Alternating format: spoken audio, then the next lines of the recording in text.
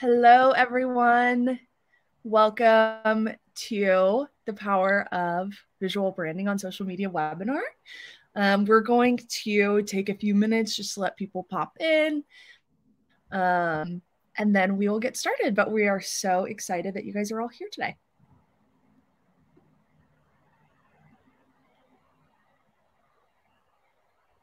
Also, feel free while we're while we're waiting to go ahead and introduce yourself in the chat. We would love to use this as a networking opportunity for everyone that's here, as well as a webinar. So um, feel free to drop um, your LinkedIn link and um, who you are, where you're from, all of that good stuff in the chat. Yes. Um, so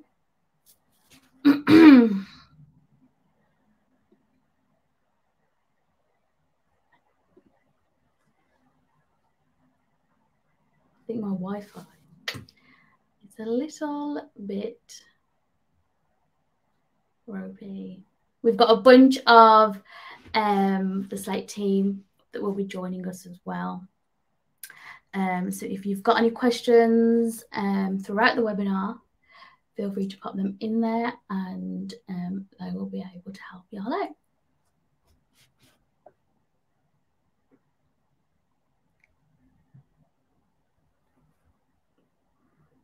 Yes, this is what we like to see. Connecting people. Love it. I see a lot of customers here as well, so that's super exciting. And maybe we'll see some of their content, the customers that are here. We're we're excited to talk through it.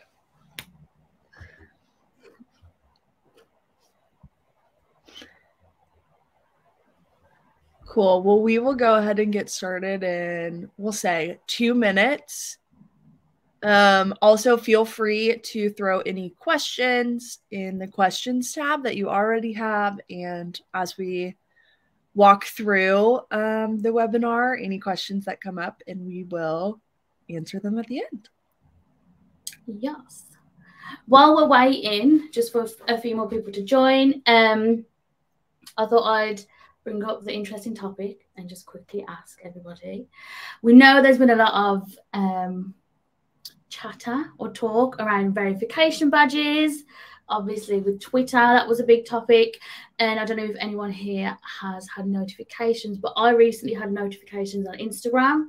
Um, and it was the fact that you can request to be um, verified. You can either join um, a waiting list. There's two workflows that people are getting you can either join a waiting list um, or you can pay, um, I think it's eleven ninety nine per month to have your blue tick, your verified tick. And I think it begs the question of how much value does that add anymore? I know, or I think I'm not 100% sure. There were two types of verification on Twitter. Whether one of them got removed, I'm not sure. But I just think it's interesting that Instagram is seems to be following suit as it always does. Um, so it will, it will be interesting to see how that rolls out and if something like that comes to TikTok as well, because yeah, you know, all social to follow each other. I know. I even though I work in socials, still get confused about which verification badge is like the actual verification badge. Can I trust this one? Um, or is this just something that someone paid for. So yeah, there seems to be a lot of scams out there because people know if you are an influencer or if you're uh, making a conscious effort to grow on social, that having being verified adds to the adds to your um, the credibility of your platform, which yeah, absolutely more brand partnerships and more revenue. Absolutely. Cool. Well, it looks like we have a lot of people sounding off in the chat. Super exciting to see um, everyone connecting. Um, definitely feel free to chat in there as much as you all want. Um, but I think we're coming up on the four or five minute mark, so we can go ahead and get started. Um, if that's cool with you, Jazz. Sure. Let's go. Perfect.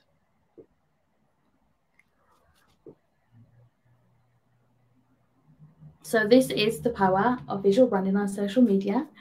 Uh, we are going. I think your screen is. Oh.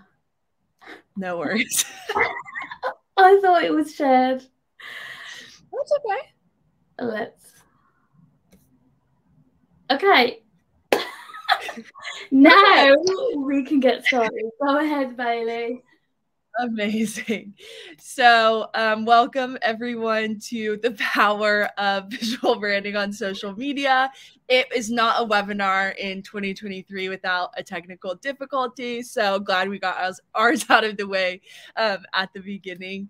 Um, I am Bailey Hand, and I am the marketing specialist at Slate. And I'm joined by my partner in crime, Jazz. Jazz, I don't know if you want to introduce yourself. Sure, I am Jasvina, um, known as Jazz. I am social and content manager here at Slate, and I am joining you from the sunny country that is England. Uh, and I live in Birmingham, so let's go. Perfect. Cool. So um, I know that we've said that we've seen a lot of customers in the audience here. Um, but for those of you who aren't aware of what Slate is and who we are, um, we are a content creation platform for brands, um, allowing um, brands to upload all of their branded assets, fonts, colors, um, everything that helps to um, identify visually with the brand to a creation portal and then you're able to create social media content um, from an iPhone, Android, or web. Um, so we're super excited that all of our content today is actually from Slate customers. So if you're not familiar with Slate, you'll get to see um, what um, our customers are producing um, in addition to the power of visual branding on social media. So I'm super excited to have you guys with us. If you do have any questions about Slate specifically, we have a ton of um, people from our team in the chat today um, that are will be happy to connect with you or help answer any Slate specific questions. Um, and then and then at the end we'll also have a Q&A. Cool. So let's go into some housekeeping items. Um, everybody, most people have already now used the chat to introduce themselves. Um, thank you so much. Um, use the chat and reactions feature throughout the webinar. This is a very conversational webinar. We want your thoughts, opinions, um, comments on things. Um, we will also be, uh, we will have a game in the webinar. Um, so we will be encouraging everyone to pop their answers into the chat when that happens. Um, any questions that you have will be answered at the end of the session. Um, we do have some members of the Slate team in the webinar. Um, so if they're short questions, I will be able to help and support you um, during the webinar. Um, but if there are any bigger questions, we can answer them at the end. Um, and if you are with us or you haven't managed to join us, everyone will be getting a recording of the webinar. So if you've got to jump off early, don't worry. as soon as it's finished, you will be sent a recording. So what's on the agenda for today? Um, so we're going to begin with talking about why is visual branding so important. We're going to we're going to talk we're going, we're going to start with the basics, just understanding um, the basics of branding, and then we're going to go into looking at some native branded content. the game that we're going to play will be guess the brand, so you can already um, think about what that game might be. Um, we're then going to be joined by a special guest, um, Carter Kennedy. She is SDR here at Slate and uh, she's formerly a customer. So she used to be um, on the creative team for the Cincinnati Reds. And then after that, we're going to be looking at creating visual content on for social media. And we will have a second special guest, which will be Mike McGuinness. Some customers on here might be very familiar with him as he is probably their contact. But Mike McGuinness is um, one of our customer success managers here. So he looks after some of our customers. And he's also a former customer um, that used to create content. And then we will be jumping into a Q&A. So let's go straight in. So why is visual branding important on social media? So typically visual branding is like a picture book that tells the story of your brand in a thousand words. So if we look at the content to the left, all of this content is either um, a picture or a video. If we were to take away the branding from those um, from this media, it wouldn't be able to tell a story.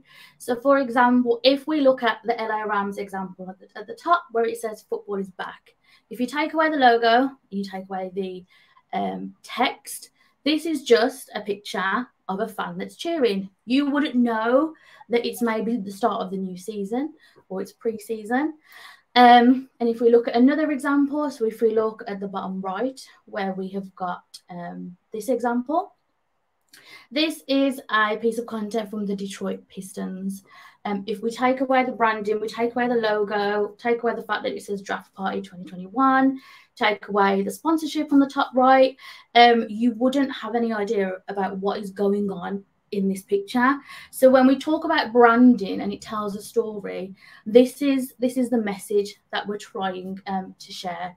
That when you've got a picture or video, adding branding to it takes that that takes that piece of media so much more further and allows you as a brand to tell your story. Now, as um, social media managers, one of the um, most important things that we're constantly trying to achieve is to create fans online. Fans are our online advocates and they help us succeed in our job. But we can only actually create fans once we start to build a connection. If uh, if we as a brand aren't connecting with our followers, there's a there's a disconnect, and we're not going to be creating that loyalty that brands so eagerly strive to gain. But once you once you start building a connection, and you start to gain loyalty and maintain the loyalty of your online followers, that is when you'll create your fans. So what we what we like to say is that brands really need to start thinking like their fans to create the best fans. So I'll use a personal example. I previously um, used to create a lot of content across Instagram and TikTok about being a social media manager, working in social, the struggles, the highs, the lows, the difficulties, the successes. Um, and a good measure that I would use when I would create my content is if I saw this piece of content, would I engage with it? Would I interact with it? Would I find it interesting? And I was able to use that measure because I am who I'm trying to reach. I'm trying to reach other social media managers. Um, and this is how brands need to start thinking um, like their fans. So they need to think about what their fans want to see, what their fans want to interact with, what their fans want to know about uh, know about their brands in order to create the best fans. Cool. So let's talk about the basics of visual branding, the foundations. What does it mean to have a visual brand on social media?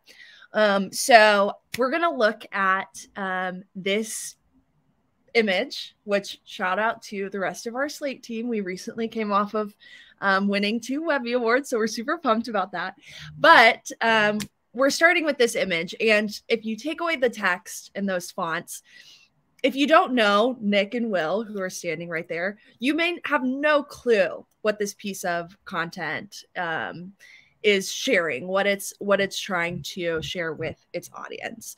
So you add in that text for a little bit of context. And what's great is here, these are our branded fonts. This is a slate font.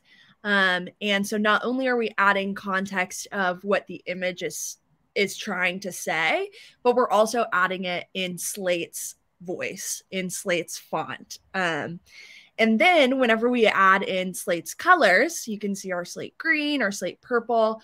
It really helps to um, hone in on that brand recognition that our followers are um, going to be subconsciously looking for um, whenever they're scrolling through their social feed. Um, so not only is it about the Webbies, but these colors help to tell the story that it's Slate at the Webbies. And then Jazz, um, this just helps drive it home with the um, 27th annual Webby Awards um, kind of watermark there. Um, so this is a filter that we actually used in our account this past week um, in Slate for our own social handles. Um, but adding all of this together takes this really great photo, but a photo with not a ton of context um, to really tell the whole brand story of what's happening here, what's happening in the world of Slate, um, and have those visual cues to help the audience understand the story a little bit better. Cool. So now we're going to jump into um, a constant conversation in the social media world, which is um, native branded social content. So it is. Um, it's always a topic, um, and I think some customers may be able to relate this, relate to this. We can obviously relate to this. Um, that people think that social content cannot be branded and native to the platform, um, and that is because there are conversations. There's articles where people are saying, you know, if you're using TikTok, you need to be using um, TikTok text because it's searchable and SEO is on the rise. TikTok's taken over Google. Um, but we've got examples that actually um, counteract that to show that you can make branded content outside of the platform. A lot of people make a lot of content outside of the platform, um, and it and it does perform and it does do really really well. So we're going to jump into some examples now. Um, and the first one is from Man City FC. If people aren't aware of um, football in the UK, it is our bread and butter. Um, and Man City, they just got through to the Champions League final. Um, but this is a piece of content. This is obviously from their TikTok account, and they're doing some behind the scenes, um, showing the player personalities. And what they've done on this piece of content is they've used a watermark, which you can see at the top right here. They've used a graphic, which is Etihad Player of the Month. And then at the bottom, you can see that they've used branded captions. Um, if you were to look at Man City's TikToks, 99% of them use this watermark here. And what that watermark does it, is that it allows them to own that piece of content. If you look at how many shares this piece of content got, it got over 3,000 shares anyone who downloaded this piece of content, it will have the Man City watermark on from TikTok, but also this watermark that they've added on themselves. But if you look at the performance of this, I think when I checked yesterday, this piece of content had between 700 to 800,000 views. Um, and you can see it wasn't made in TikTok. It is branded. It's not overly branded. It's not too aggressive. Um, but, you know, they've used their, their colours um, fonts and some stickers. And I can see a question in the chat. Did they auto generate those captions? Yes, they did. Um, so in Slate, we have an auto generate caption feature. Um, and that's what they did. And you can see that they managed to change the colors depending on which player was talking. So this is a great example of how you can create content that, that is native to TikTok, native to the platform, but add um, branded elements to it. Yeah, love that example, Jazz. Um, cool. Let's talk about Rock the Bells. So, for those of you that don't know, Rock the Bells is a hip hop fest music festival um, that was started by LL Cool J. And um, they have some really awesome content. It's really, really cool to see um, music festival content, music industry content.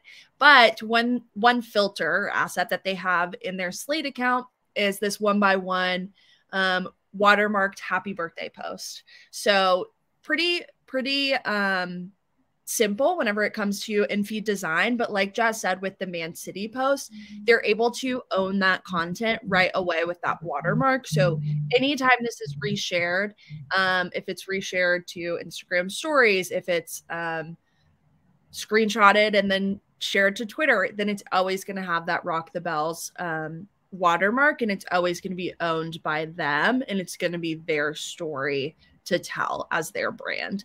Um, so really love this in feed moment, not to produce, but um, still really lets the brand take control of their content and take control of their story um, on their um, profile, on their handle, as well as anytime it's reshared after that.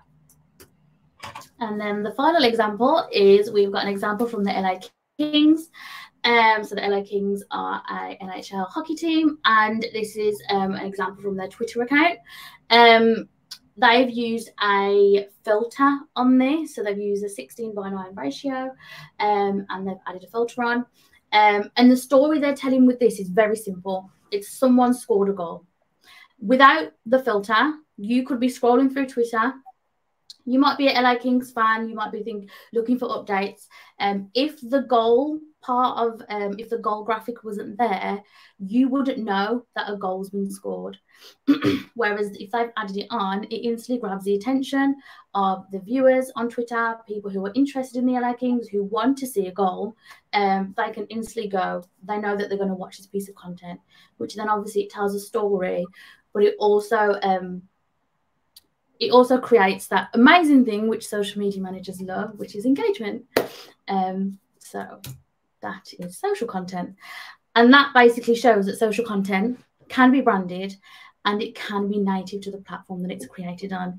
Um, we know that social content isn't necessarily a one size fits all. We do, as platforms increase in popularity and new platforms, um, new, and new platforms um, come out, we do have to adapt how we make content.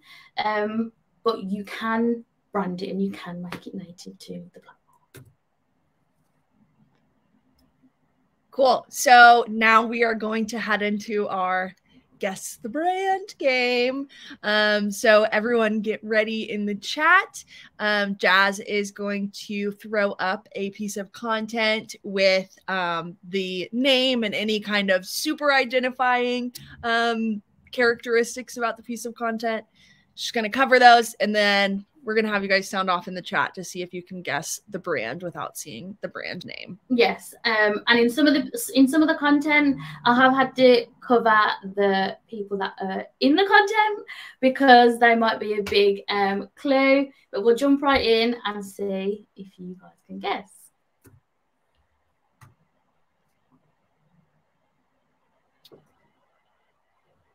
So All right. First one, we've got in feed. It looks like we've got some we've got some football guesses in the chat. We think some people are trolling us. there is a basketball hoop in there. there is. All right. Okay. We're yeah. starting to we're starting to see the answer come out. awesome job. Yes, yeah. it is the 76 um, um, and I didn't know job to there was an area which I didn't cover. It was this. So if anyone had a BDI, I didn't cover the Sixers beyond there because I forgot. But yes, it is the six. It is the, the Sixers. Okay, next example. Who's this? Okay, another another basketball example. So we'll give you that hint. Could have covered the basketball nets. Yes. Yes, maybe next time we'll cover the we'll cover the um the play field. Yeah, a lot of people. Wild Wings, Globetrotters. I'm not as au fait with US sports. So I do actually feel like I'm being trolled because I could say, yeah, this is the Globetrotters. No, I know that they are, in fact, the Phoenix. The Sun. Phoenix Sun. okay. We had a lot of a lot of great guesses on that one. This? All right. This is my favorite. I love this example. Um, and makes me feel nostalgic, I will say. Any guesses for this one?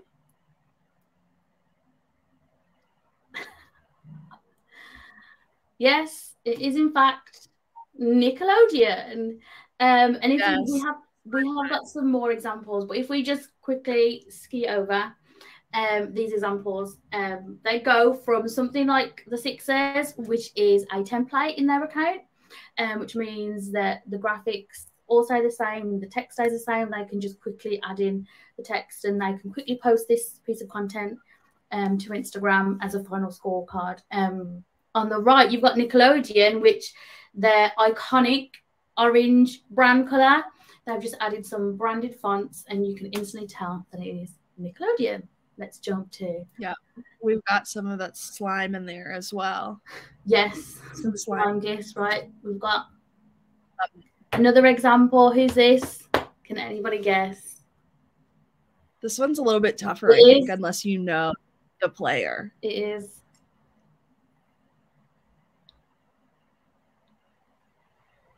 I think we've we've got a winner. Cassie is on it.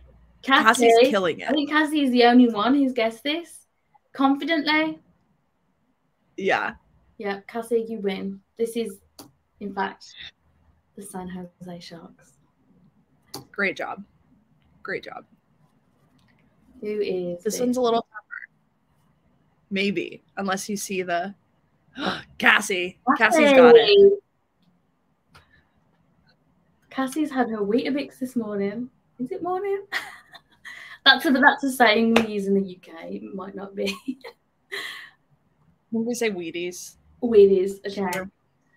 This morning, yeah. Yes, this is an actual fact. The Hornets, the Hornets. Um, I loved this example because it's so simple and I had a bunch of content on this day that I um, screenshotted this, and you've just got the smallest watermark at the bottom. So it's super, super simple, but they still added their branding on it um, to show that it's their content. The last one. Who could this be? We've got any guesses? Cassie. Yeah, TQL. Does anyone know their stadiums really well? Cassie doesn't. Cassie did. So this is all you guys. The whole crowd versus Cassie.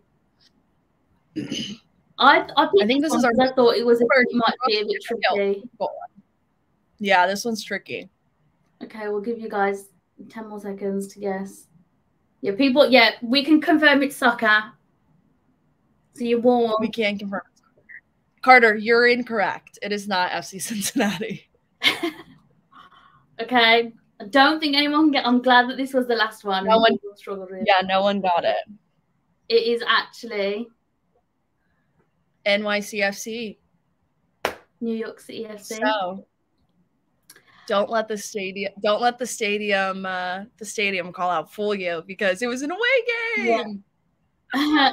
uh, but we did this we did this um, game just to show you how, just to emphasize how important branding is and how, um, in terms of differ- differ- differentiating yourself from other brands or solidifying your brand online, really has an impact on how people um, recognize you and know you. Yeah.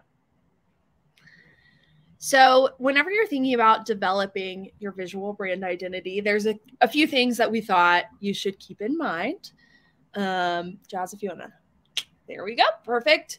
Um, so, really needing to take time to define your brand's values and messaging if your brand doesn't already have one is super important um, because that's what you're going to take to be able to visually tell your brand story. So you need to have the foundation of knowing that those values and what messaging your team is trying to get across to be able to develop assets that help support um, those um, values and messaging. The next thing you need to do, Jazz talked about it whenever we're talking about creating the best type of fans, is understanding your audience's needs and desires. So, who who do they want to hear from? What do they want to hear about? What content are they looking for you to share? Um, and so it's super important to put your mind um, in the mindset of your followers um, and what they want to see. From there, you can use what you know about your brand's values and messaging um, in combination with your audience's needs and desires to establish your brand personality on social. So, what tone are you taking? Um, what does your creative look like? That all affects how your brand shows up, personality wise, um, whenever you're you're looking at social media content.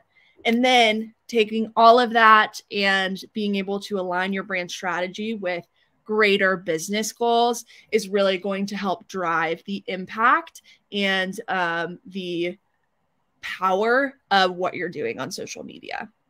So, with that, we are going to ask Carter Kennedy to come up on stage. Carter is a sales development rep um, at Slate here. She also was a former customer with the Cincinnati Reds, where she was a graphic designer.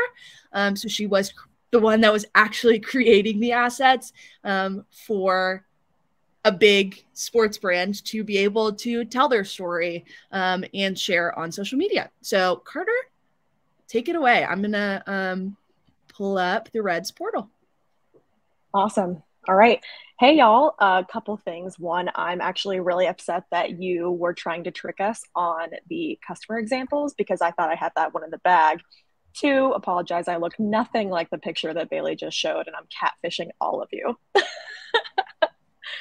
Um, but yeah, I'll speak Love a little it. bit to my experience while Bailey pu- uh, pulls up the brand portal. So I came from UNC Asheville, where I was a student athlete and also a student worker there. So I was the sole content creator for the entire athletic department. And I also was helping run in game social for basketball games, baseball games. I was helping operate broadcast cameras and really doing just about everything because it was a very small team right out of college and right before the pandemic hit, I was hired with the Cincinnati Reds.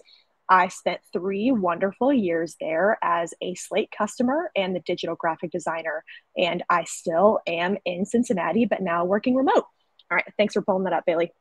So yeah. I wanted to speak a little bit to a couple of the points that Bailey and Jazz talked about on that slide about really defining your brand value and your messaging. So I can only speak to my experience at the Reds. And if I say we or I, I know I'm not there anymore, but you know, you get it. I'm basically right next door.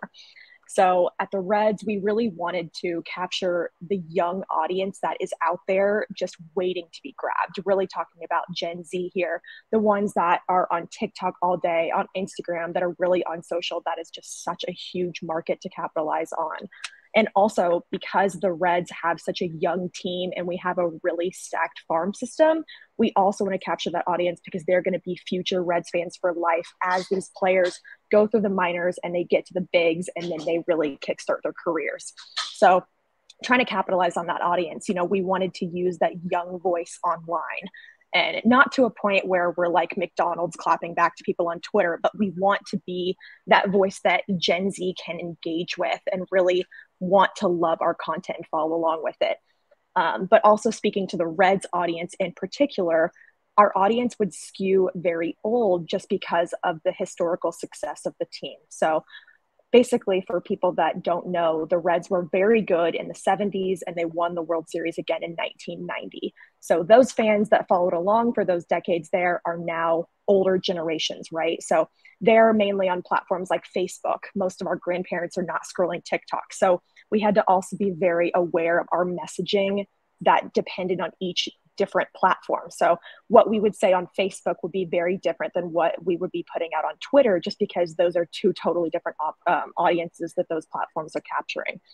Um, but as our brand personality, we were trying to be young, gritty, exciting, really kind of you know, kind of um, going off of the mo- momentum of the team and the tra- uh, trajectory of where the team is going over the next few years. So, you know, we want to be able to be funny online. We want to be able to crack jokes and really connect with people, but we also have to understand the temperature of how the team is performing in any given year. So, if you know they have a really bad start, like last year, they started off the season three and twenty-two you know we went pretty radio silent for a little while and it's all about gauging your audience and you know you don't want to continue putting out the same content and not be mindful of how the team is also doing on the field. So also have to keep that in the back of our heads too. But basically, like I said, our goals were just capturing that young audience, always want to increase engagement and increase the efficiency of our content workflows and everything our team is doing. So Slate was a perfect tool for that because we were able to increase our efficiency and our engagement, our numbers were skyrocketing because we were able to brand our content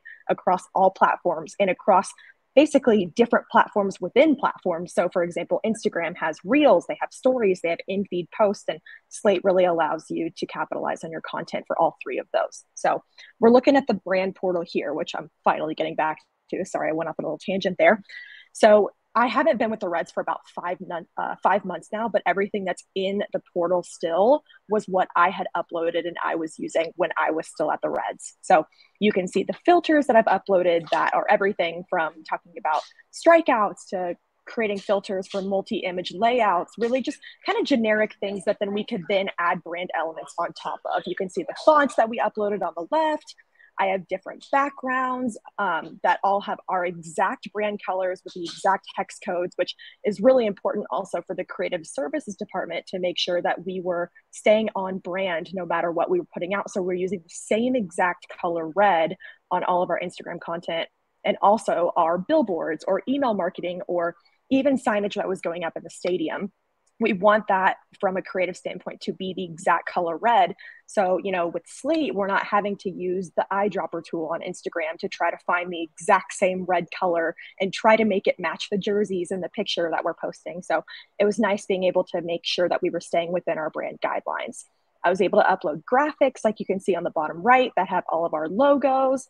MLB also has a parent account over all of the different clubs, and they upload their own assets that they share with all 30 clubs. So the Roberto Clemente logo, there's the Jackie Robinson logo, opening day. Some of those assets are uploaded by MLB automatically into our account. Speaking of branding, they want to make sure that their branding is used consist- consistently across all 30 clubs as well. So each club has their own brand, and then MLB also has their own identity that they want to make sure is being streamlined across all the clubs as well. But Bailey is going to show you guys what our web creator tool looks like, and she's going to create content within the portal here. So I've talked a little bit about how we can use these filters on mobile and you can use them when you're doing a 9 by 16 story. But if you prefer working on your laptop and not on your phone, you have pretty much the same capabilities here in the web editor you can upload photos. This is Matt McLain, number one draft pick that just got called up about two days ago. Shout out to Bailey for uh, finding some relevant photos here. You're seeing the same exact filters that I had shown you guys in the web portal a second ago, the same exact graphics. You can find all these on the mobile app and on the web portal. So, say Matt McLain had just hit a home run, we can easily upload that photo from Slack or Getty or any other softwares that we have integrations with, all from your phone or from the web. Like I said, you can add your filters, your graphics. You can export directly to any of your social platforms when you're on mobile, or you can download it here and post natively from the web too. You can see all the backgrounds. Really, it's all the same on the web as it is on mobile and you'll have all those same exact colors to make sure that everything is staying on brand. So it was really nice being a designer that was also kind of a hybrid role on the social team too, where I had my footprints all over this. I uploaded all these assets, I created all of them, but then if I wasn't working a game, someone on the social team could use Slate and I could trust them to use Slate to make sure that they weren't using any of my assets incorrectly and they were making sure that everything that they were doing was basically creative I had already approved for them to use. So that's my long spiel. Thank you for kind of demoing how that works, Bailey, and I'll let you guys take it away. Yeah, of course. Thank you so much, Carter. That was awesome. Awesome. Cool. Jazz, you want to throw the slides back up? Amazing. So, um, Carter just did a great job walking us through what a real life brand portal in Slate looks like and how the Reds developed um, their brand identity. So we just wanted to go through some quick wins that your brand could activate on today or this week. Um, the first one being mini campaigns, the second one being key events, and the last one being sponsor partnerships. Um, so we'll just go through a couple different examples here really quickly. Um, this is a mini campaign that Burton actually um, activated on a couple of weeks ago. so, for some context, Culture Shifter is an initiative um, that Burton puts on to increase diversity um, within the sport of snowboarding. So, they have a program that goes along with it. Um, but as you can see, they didn't do anything crazy whenever it comes to the Culture Shifters creative assets. But what they did do is make it very apparent that this is from Burton and this is their Culture Shifters initiative with that watermark. And then another element, which um, you wouldn't be able to see as prevalent here, but these colors, along with a few others, were part of their Culture Shifters campaign. So they used the element of color to also drive home the story of what was happening. Um, and for a lot of you, you probably know this, but the two examples on the left are um, reposts from creators. So they also were able to not only brand live content, but they were using Slate to brand um, reposted UGC content, which is always some of the best content and um, some of the most engaged with content. So we were super excited to see how great this mini campaign looked for Burton, and it was definitely a win in our book for them. Oh, Jazz, you're muted. Today is not the day for me when it comes to tech. It's almost Friday. It's almost Friday. I'm not normally like this, I promise. On the previous webinars, they've gone smooth. Um, so for key events, we're going to use um, a super recent example here from um, the Chicago White Sox. and they actually um, shared this campaign with us. They were super um, pleased with how well it was executed. JC Andrews, um, who was on the social team there, she led this execution. Um, and this is a way that they celebrated Dog Day. So they partnered up with a local organisation, um, a Dogs Trust organisation, and they brought dogs down, they brought puppies down, and they held like an adoption event so people could come down and see if they, you know, were um, see if they were able to adopt a dog. Um, they inter- they use the players with the dogs, um, and I think it's a really great example of how brands can be fun and also integrate key events in um, into their into their um, everyday branding. So if you look on this example at the bottom, um, where we've got the graphics um, of the dogs, um, you can actually see that they have got either neckerchiefs, scarves.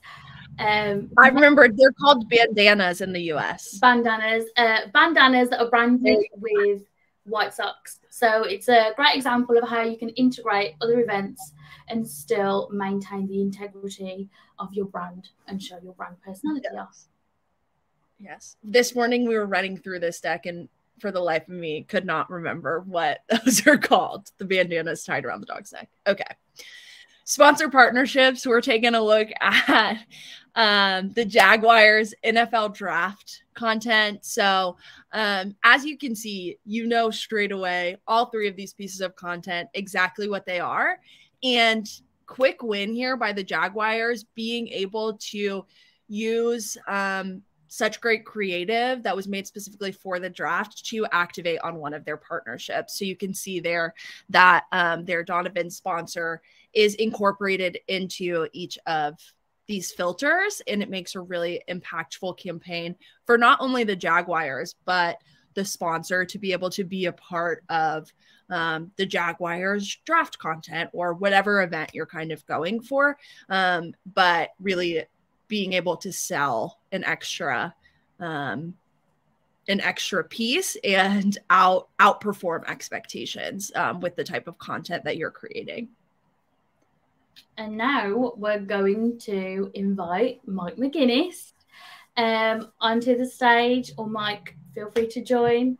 Um, where we're going to be where Mike will be going um, through creating visual content for social media. Mike, take it away. Introduce yourself. Well, hello, hello, everybody. Thanks for joining. My name is Mike McGuinness. I was a former customer, just like Carter. I was a former customer for the RBC Heritage, which is a PGA Tour golf event. I was running around very much like this with the phone in my hand, trying to get a bunch of content using Slate for a couple of years before I joined the team uh, last summer. So that's where I come from. I reside in Rochester, New York. So hello to all the East Coasters. I'm with you for everybody else anywhere in the world. I think you're cool too. I think you're cool too. Here's the thing. I want to start off with a couple shout outs and we'll get into it. I've got three different tips. This is like a mini version of like our best practices deck that we go over when you're a new customer with us. Um, but the shout outs go to the Professional Fighters League, Jesse and Geo.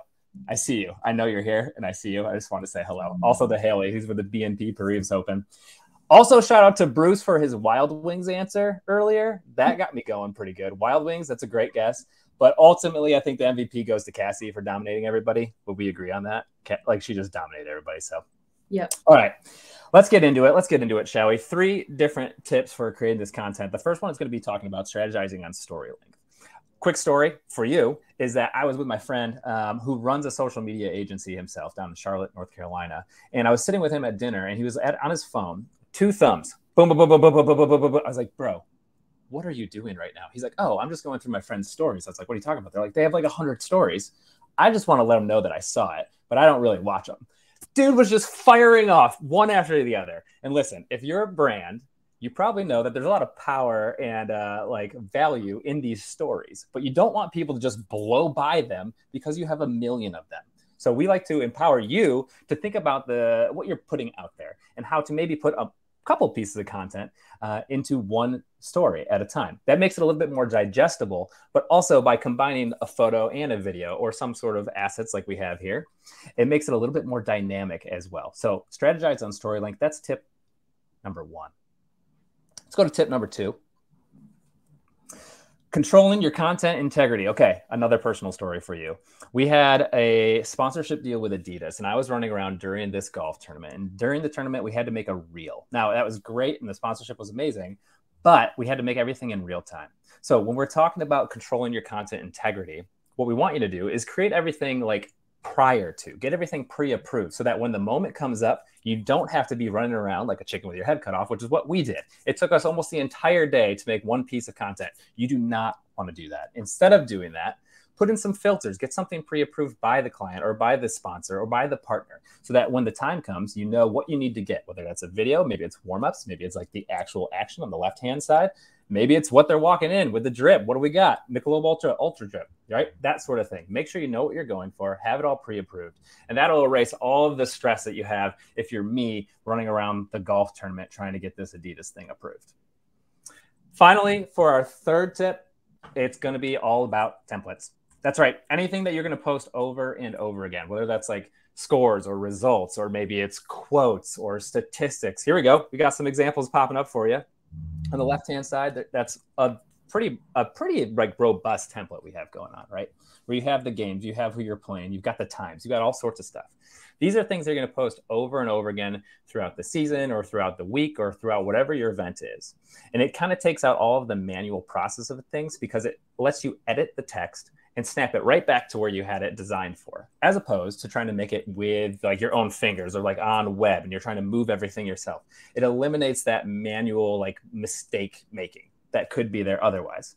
And I will point out on the far right hand side, this is Bayern basketball. They are, I would say, one of the innovators when it comes to uh, templates.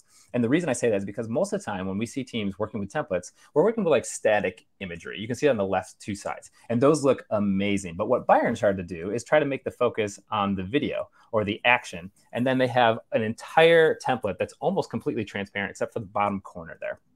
They swap out the team name, they swap out the score, and uh, there you go. They can post it pretty much after every single game using one single video that they think is a highlight to show what happened.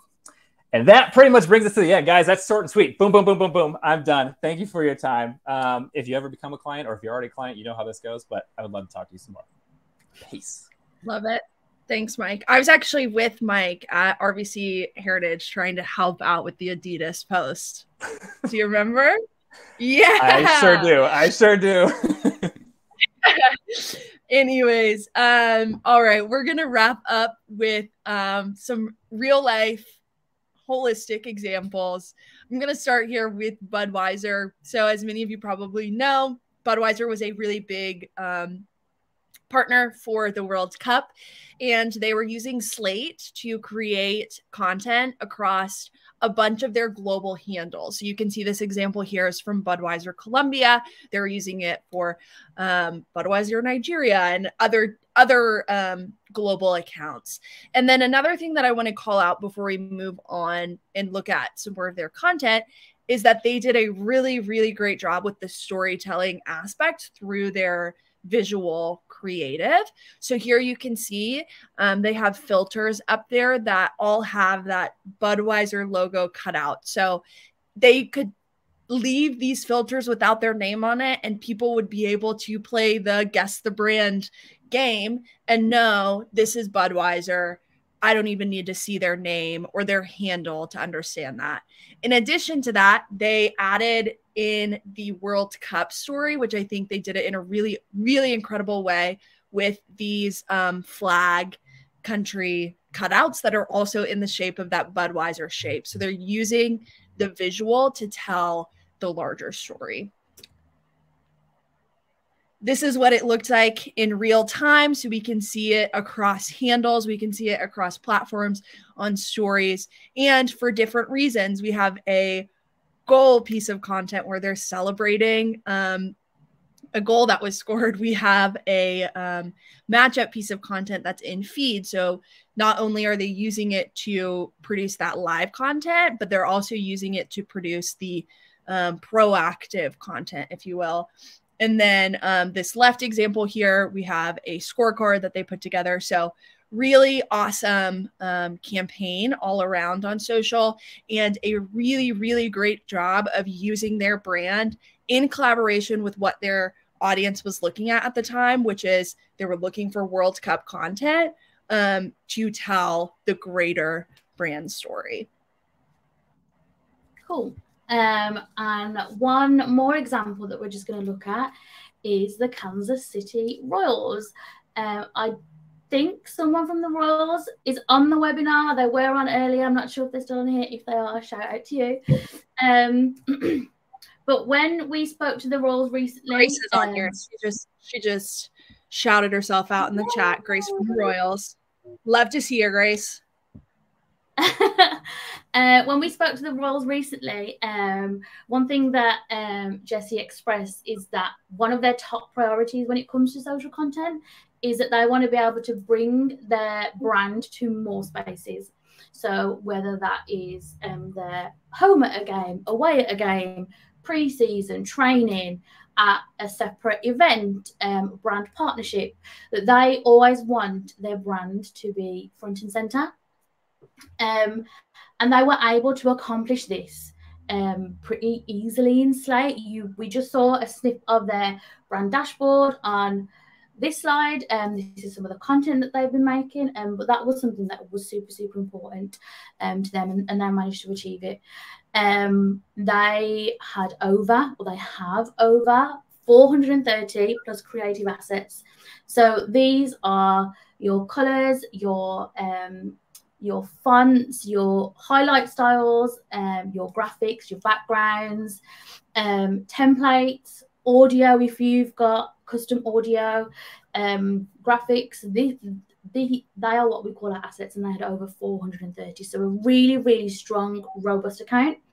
Um, they actually saved um, on average 50% of their time creating content in, in Slate which when we think about social media um, and we think about especially in sports when you're live in game and you're having to create content 50% um, of your time is huge saving an absolutely huge saving. Um, so that was great that they were able to achieve that.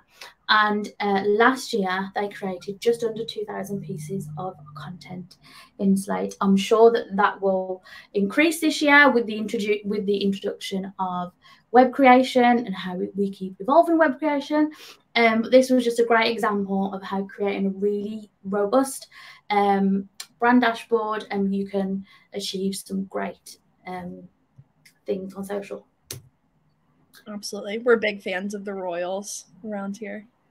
Um, so some key takeaways before we jump into questions. If anyone's got any questions, start thinking about them. Um, pop them in the and chat. Mike and Carter will be popping back up in here. So if you have questions for Mike or Carter, feel free to throw that in the question tab as well. Yes. So key takeaways: branding on social media is about storytelling. We've shown that in all of our examples. Um, and it's clear that you can share an image, you can share a video, but when you add branding to it, it tells a story. It goes so much further on social and when we do have when there is so much competition on social media or it's harder to get the engagement that you, you that you used to be able to achieve years ago uh, when you add branding to it it works harder for you as a brand. Creating compelling social content doesn't need to be complicated. Sometimes um, i think and this is typical of working in social. When we've had to create content and it needs to be branded, we think it needs to be all singing, all dancing, five million things on it. Um, and we can sometimes overcomplicate it. Slate allows you to simplify that. It it takes away the obstacle that working in so that people who work in social tend to um, experience on a daily basis. So it can be super super simple. You don't need to overcomplicate it brands need to think like their fans to create the best fans. If you put yourself in your fans' shoes um, and use that to fuel the type of content that you want to create, the type of assets that you want to create, the creative that you want. Um, that's the best way to build that connection, build that relationship with them, um, and overall increase brand loyalty and create super fans. And in actual fact, mic drop, you can create content that is branded and native to the platform. We've showed a bunch of examples here. Um, if anyone would be interested in more examples, please drop in the chat and we can make sure that we reach out to you. But we've shown a bunch of examples in here um, from a wide variety of brands, just that you can create content on social platform, whether it's Instagram, TikTok, Facebook, um, or Twitter, um, and it can look super native. Um, and personalized to you. So now we're going to jump into Q and A, and um, get yeah get Mike. And... If anybody has any questions, let us know. Um, and we'll be happy to answer them. If not, thank you so um, much for joining. Feel free to drop any questions in. Bailey, you were a part of that. In fact, you created that whole Adidas sponsorship. Yeah. Can, can you just give us a 10 second rundown of how that went? Yeah. So I was actually with Mike at RBC as like a slate consultant um, a couple years ago. And they had an Adidas pop up and they were like, can you create a piece of content, a reel about this pop up? So, yes, I was taking videos, pictures. There was no, we didn't have any assets to work with before. So it was kind of like RBC branding, but like covering the Adidas pop up. And then, yes, it was a lot of back and forth to to get that approved, but it was fun. We had a great time. cool. Well, it looks like we don't have any questions. So thank you guys so much for joining. Um, if this is your first webinar or if you're a customer, we so appreciate you. Um, thank you, Carter. Thank you, Mike, for your guys' help. Um, we appreciate you guys as well. And um, yeah, let us know if you have any questions. Um, and if not, we will see you guys next time. All right. Thank y'all. Bailey and Jazz, you guys the best. Thanks. Way to go. Way to go. Back at you. Bye, everyone. See you, bud. Let me figure out in this. There we go. Okay, I found the end button. I will see you guys later.